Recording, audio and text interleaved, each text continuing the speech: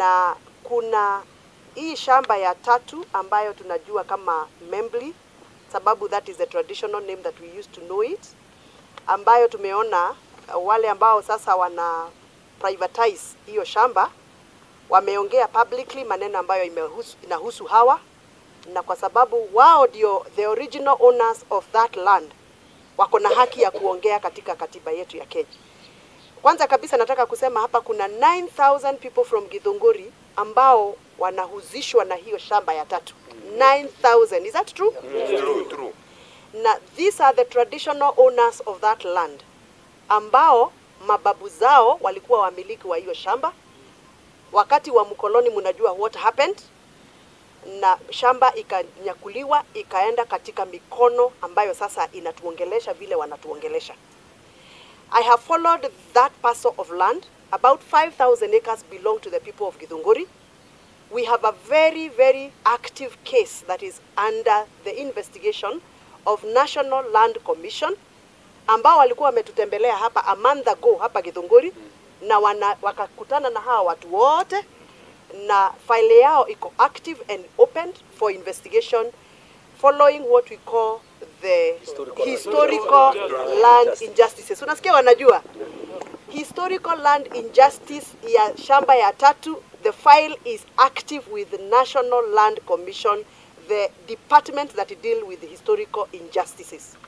Profesa ambaye amesimamia hiyo commission na commissioners wake watatu walikuwa hapa a month ago, na hawa wanataka warudishiwe ama walipwe 5000 acres ya hiyo shamba ambayo ni 15000 acres.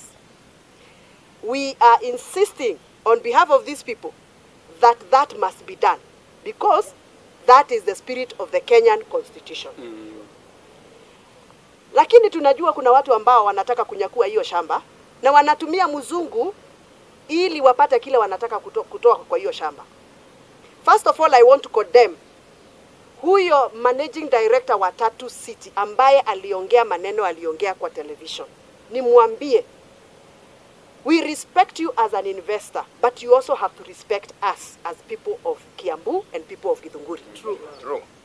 Reason being hiyo shamba ambayo umenunua na pesa yako unataka ku develop uuzie watu wakuja waishi hapo Tatu 24,000 houses that you are building and the many investment you have put there for creating jobs is welcome. But we must also ask ourselves are you doing that within the legal framework? Are you upholding the rule of law? Are you following the rights enshrined in the Kenyan constitution? Huyo mzungu ambaye aliongea alisema gavana wa Matangi amemwandikia barua, akasema gavana anataka apewe land ya kaunti ya Kiambu. Mimi sikusikia hiyo barua na niliona hiyo barua, sioni pahali gavana alisema apewe land iandikwe jina yake. Sikuona barua inasema huyu CEC wa land ameandika barua akasema nipatieni barua ma- land iandikwe jina yake ama ya bwana yake. Barua ilikuwa ya county government of Kiambu which belongs to us Yes. ikiitisha land ya kujenga police station, kujenga hospitali, kujenga social amenity hall na kujenga soko na kujenga kanisa na kuendeleza mashule, what we call public utilities. Mzungu alisema hiyo private land ni private na governor hana haki ya kuitisha public amenities facility. Mimi nilikuwa nimeteta kuhusu mpango wa kunyang'anya Gewe Primary School land na hao wazungu, na si kuteta mwaka huu, niliteta last year na nikaandika hii barua. Hii barua niliandikia watu watatu na niliandika last year 2023 tarehe tano mwezi wa Juni, na niko na hiyo barua nitawapatia, na nilikuwa nimeuliza hawa wazungu, niko na objection. My letter read objection on changes on Tatu stroke Roiro LR number 288 288,671 and LR number 31327.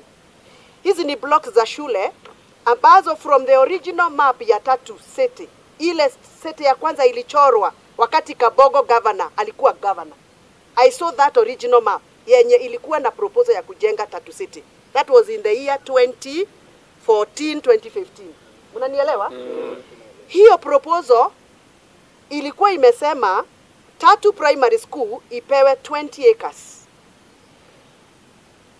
Gewe Primary School ijengwe tu pahali iko, isihamishwe, ikae pahali iko na ipatiwe 20 acres of land. Kulingana na ile map saa hii, huyu mzungu anataka wa Matangi approve, imebadilishwa. There is a proposal to move Gewe Primary School from where it is to another location. There is a proposal to reduce the acreage allocation from 20 acres to 3 acres. Who gave them the opportunity or the authority to reduce the acreage of land? Did they involve these people? No. no. Did they call for public participation? No, no, no. Have they called me as a member of parliament for Githunguri and member of parliament for Roiro na MCAs wetu no. ili tujadiliane ya kwamba Gewe Primary School inafaa ihamishwe? Gewe Primary School is not Patatu City asset. Gewe Primary School, Tatu Primary School, Oakland Primary School and BTL Primary School. All those are public school. And if they are private, huyo mzungu atuambie kama ni private na ulisema unawapatianga lunch kwa sababu ni private.